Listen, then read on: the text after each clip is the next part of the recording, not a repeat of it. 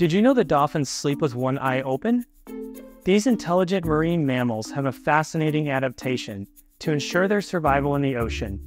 Dolphins, like humans, need to sleep, but they can't afford to let their guard down completely. So they rest one hemisphere of their brain at a time while the other stays alert to watch for predators and maintain essential functions.